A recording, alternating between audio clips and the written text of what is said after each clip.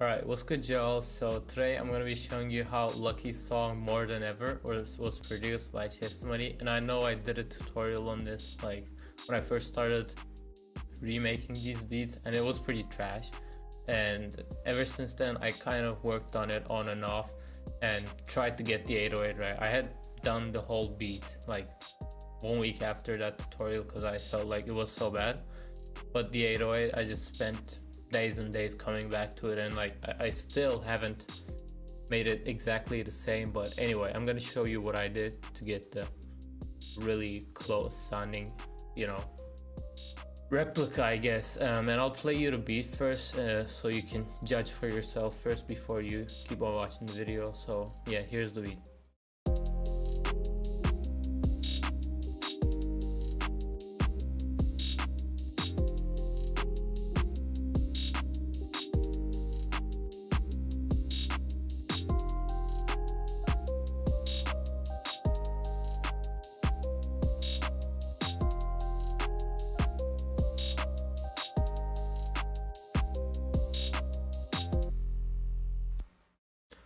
Right, so like that sounds pretty familiar. Of course, the 808 is still not perfect. I tried a lot of different things, but I'm gonna first start off with the melody. So we have this Omnisphere preset and ambient space piano, which I'm like 100% sure is what he used, cause like this is what it sounds like.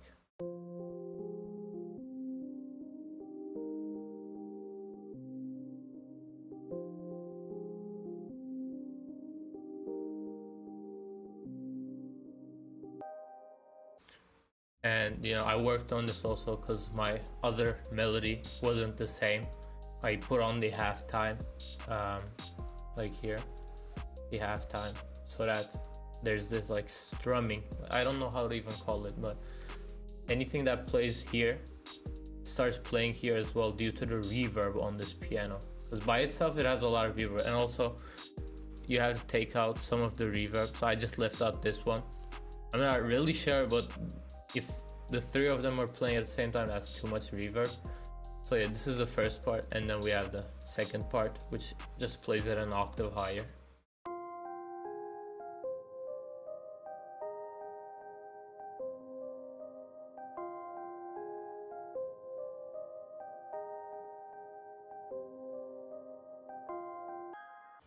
As you can see here, like you're gonna hear these notes when we play this. So I'm gonna show you.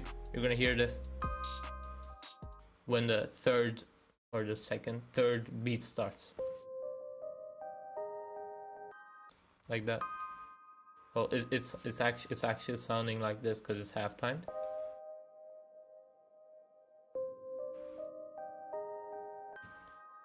Anyway, that's that's the main trick with this melody, and also is like there there are these. It's not exactly on this grid. It's a bit to the right, bit to the left sometimes to give it more of that movement. And when you put it on halftime, it sounds like that. I consolidated it because it was like the reverb was building up and up and I didn't want that to happen. So anyway, now we have this clap. Um, there's a clap and then the snare layered on top of it. So clap sounds like this. And then the snare sounds like this. And both of them together, they sound like this.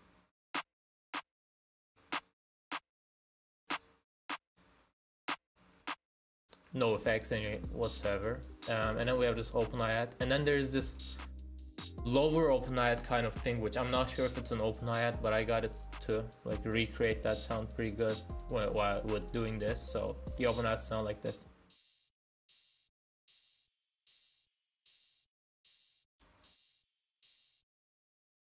And then we have the hi-hats. Um, this is the hi-hat. Got some reverb by itself and also put on some reverb here this preset. Um, sounds something like this with these rolls.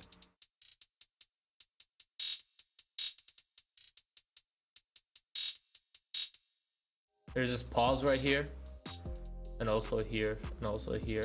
But the, these rolls make up for these pauses but here it's definitely here audible. But because there's a clap and then the 808 comes in you don't really hear it unless you're looking for that pause um, then we have this kick right here. Sounds like this.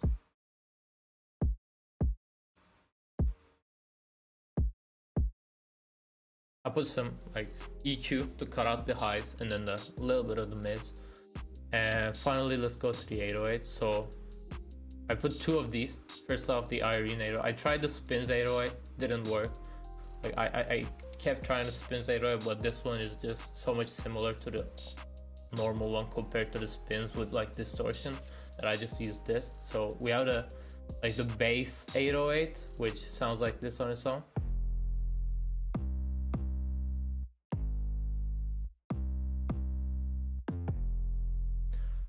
And I'm pretty sure this is it because when you look at the EQ, you're gonna see that it peaks at around 44, 66, and then 52 hertz. And it's the same in the in the actual song that you, you see these peaks here.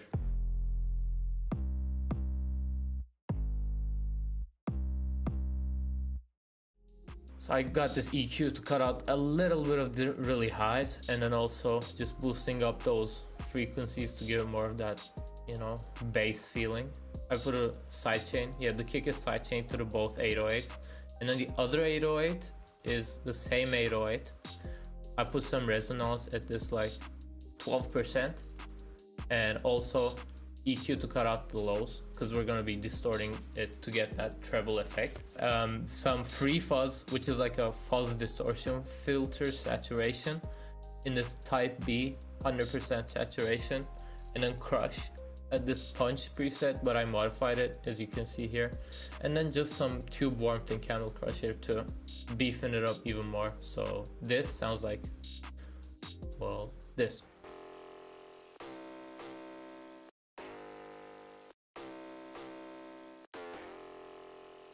And thanks to that resonance, you, you see that like the F and then the G sharp have much more noise compared to the C and then the F because that resonance basically like only affects certain frequencies and like those frequencies play when they're not as high as C.